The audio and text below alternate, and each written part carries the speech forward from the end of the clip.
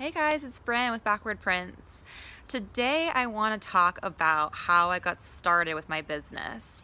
It's a question that comes up a lot with from my customers and I'd love to share the story with you guys, hopefully to inspire you to pursue your own dreams and or passions.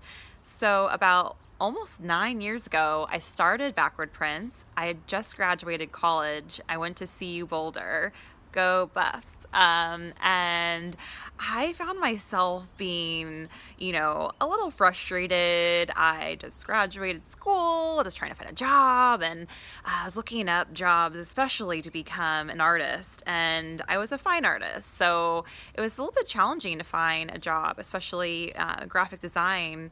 Uh, didn't really have a lot of experience, and most jobs required that, of course, you have to have about eight years of experience, or you know, something crazy like that. And you're like, oh my god, come on, I just graduated from college and I don't have any experience.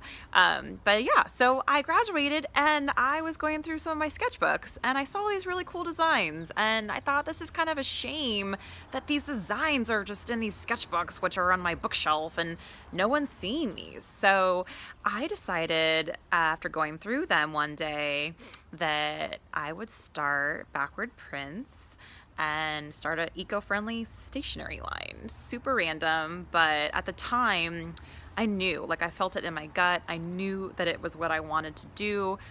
And I just trusted that feeling and I let my heart guide me to basically, you know, inch by inch, just trying to find out what that next move was.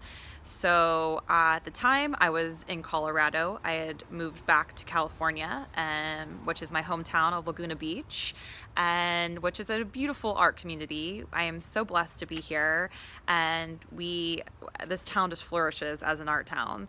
So I was in a good place to start my art business, and I started, and I really didn't know what I was doing. I was completely lost but to be honest i just dove in and that's one of the questions i do get a lot you know like like I know I want to be an artist Brynne. I know this is what I want. This is what I love. I'm in a job I hate. Um, like how do you how do you start? Like where do you begin?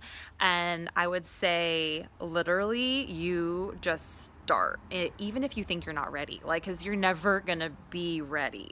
So definitely most important advice I could give to you is just just just go. Like it's kind of like the standing along the edge analogy. You just you got to do it or like maybe jumping out of an airplane you don't want to but you know you have to and just that initial jump is really scary but then it's really exciting so exciting. So that would be one of my main uh, tips of advice. And then um, so then you just start and then honestly for me what was cool is that i started doing these art shows in laguna and the customers, people that I was meeting, they were giving me the most amazing feedback. And they were requesting, you know, different for me to make different designs or different uh, products. And at the time, I just had like five card designs. So I'd go home like that following week and I'd make, you know, like a bunch of different designs based off what people were requesting. And then I'd do another art show and then people would say like, you know, do you have a penguin or a robot or something, something? And I'd be like, uh, not at the moment, but it's coming soon.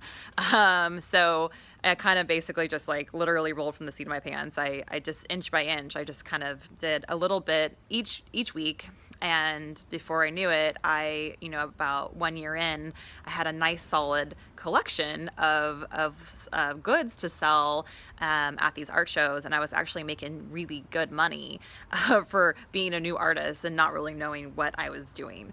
So anyways, that's my advice today for you. I hope that helps you.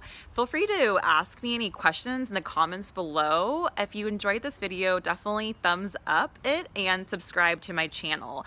Uh, this is very new for me. I just got started on YouTube. So uh, anything you have questions about being an artist, especially, um, and um, tips or advice I could offer you, I totally happy to.